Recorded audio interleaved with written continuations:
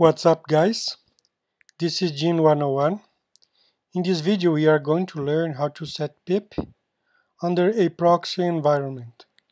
So you have proxy on your network and you want to set Python to use pip.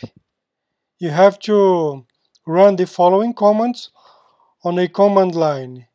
It can be done on a Windows machine on a, or a Mac Macintosh machine. Only two commands.